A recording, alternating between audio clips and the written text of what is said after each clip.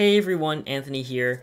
This is going to be a pretty chill video just talking about my channel, specifically my journey so far, and since I'm about to start college, my thoughts for the future. So, I've been editing videos since I was 10 years old in 2013. I made all sorts of videos and short films, most of them here at home obviously, but occasionally somewhere else. I was also into photography and I had started collecting cameras, you can see my current collection back there. I had lights, I had my green screen, and pretty much any time someone would come into my room, they would ask me if I had a YouTube channel. Finally, I caved and uploaded a short film, and at the time, it was kind of the culmination of all those years of just editing videos for fun. And now, here we are.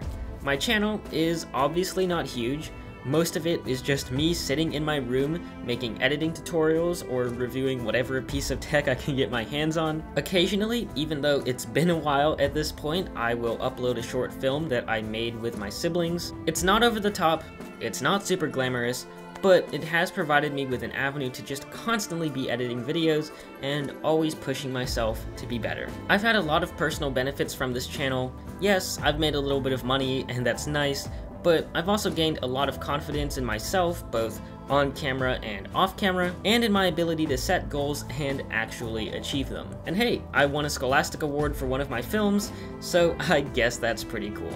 It's been a fun couple of years, and I've known for a while now that this is what I want to do for a living.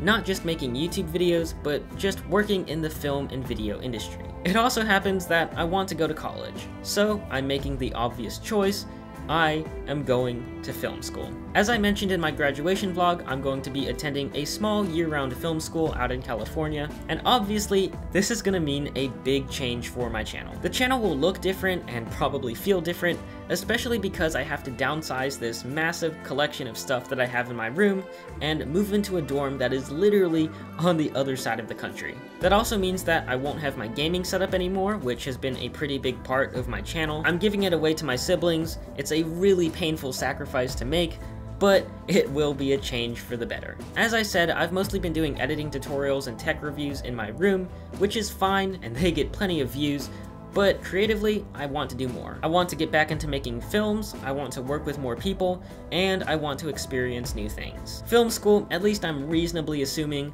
will help me to achieve those goals. I do still have my goal of hitting 10,000 subscribers, but that's a relatively short-term goal. So what's my master plan? The holy grail of YouTube, the one that so many YouTubers seem to strive for, is to make YouTube their full-time job. I'm still years away from achieving that, um, but I've already been thinking about it, and honestly, I'm not sure if that's what I want. Obviously, if I could make a full-time income from this channel, that would be great, no questions asked. But there are a lot of other avenues in the filmmaking world that I want to explore. I could work as a freelance videographer, and honestly, I probably will. I could attend grad school, not necessary, but it could be fun. I could work a 9 to 5, that's another possibility. Of course, along with all of this, I have to be able to make my own projects. And then, obviously, there's Hollywood. I could be an assistant and pretty much just be there and work my way up, I guess. All of these are really exciting options and bound to at some point or another. Of course, my YouTube channel can and will be a big part of that, but I don't want it to be the only thing that I do.